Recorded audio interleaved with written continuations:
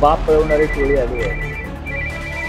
बाप पळवणारी टोळी आली आहे. हो, सांगितलं की त्याच्यात सूचना प्रमुखांनी आपण लावताय. आणि त्यांच्या चिरंजीवन आमंत्रण. सावरकरांचं चित्र जेव्हा आम्ही लावलं तेव्हा आम्ही त्यांच्या नातेवाईकांना आमंत्रित जे त्या कारणावरती नाव होतं. बदला घेतात की नाही सांगू शकत नाही. महाराष्ट्रात पूर आणि बदलाचं राजकारण सुरू आहे.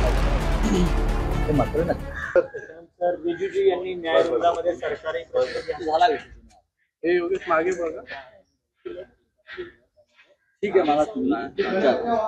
आणि एकच प्रश्न असेल सगळ्यांनी ते एकानेच विचार. नाहीतर मग गोंधळ होतो. बोला काय आहे? आधी मराठी बोलूया. रोल रोल हे हा त्यांच्या पूर्ण चेहऱ्यावर रोल सर पंतप्रधानांचा दौरा आहे आणि त्या दौऱ्याच्या निमित्तानं मुंबई विद्यापीठाची संरक्षक भिंत तोडली जाते असा आरोप युवा सेनेच्या वतीनं करण्यात आला. मागच्या वेळेला सुद्धा विद्यापीठामध्ये अशाच प्रकारची खंड आणि गोंधळ करून ठेवला होता. प्रधानमंत्र्यांची सुरक्षा ही सर्वोच्च आहे. त्याच्याविषयी कोणाच्या मनात शंका असण्याचं कारण हिंदुस्थानच्या प्रधानमंत्र्यांना मुंबईत त्यांनी यावं तो त्यांचं आम्ही स्वागतच करतो. आणि मुंबई अत्यंत सुरक्षित शहर आहे. जर सुरक्षेच्या दृष्टीने काही समस्या असतील तर त्यांना दुसऱ्या एखाद्या जागेत त्यांचा कार्यक्रम ठेवता आला ना असं नाही. युवा सेनेने जे मुद्दे उचललेले आहेत याचा अर्थ त्यांनी त्या जागेची पाहणी केली. विद्यापीठ आहे विद्यार्थ्यांशी संबंध आहे. त्या संदर्भात आता सरकार उत्तर देईल. पण प्रधानमंत्री ज्या कामाच्या उद्घाटनासाठी येत आहेत त्यातली बरीचशी कामं ही मुंबई महानगरपालिका शिवसेना किंवा आधीच्या सरकारनं केली आहे आणि शिवसेनेनं सुरू केलेल्या कामाच्या पायाभरणीनंतर मुख्य प्रधानमंत्री काय एका अर्थानं आमच्याच कामावर शिक्कामोर्तब करतात आनंद आहे.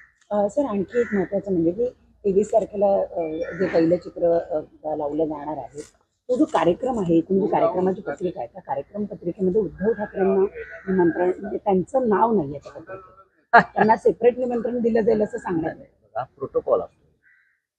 राजशिष्टाचार आपण बाळासाहेब ठाकरे माननीय हिंदुहृदय सम्राट शिवसेना प्रमुख त्यांचं तैलचित्र लावतो. आणि त्यांचे चिरंजीव जे राज्याचे मुख्यमंत्री होते त्यांना सन्मानानं बोलवत नाही. म्हणजे तुम्ही राजकारण करा. जे माननीय उद्धव ठाकरे सांगतात की बाप पळवणारी टोळी आली आहे. बाप पळवणारी टोळी आली आहे. असं उद्धवजीने सांगितलं ते त्यात तथ्य आहे. शिवसेना प्रमुखांचे तैलचित्र आपण लावताय. आणि त्यांच्या चिरंजीवांना आमंत्रण. निमंत्रण दिलं जाईल असं सांगण्यात आलं. बघा प्रोटोकॉल असतो.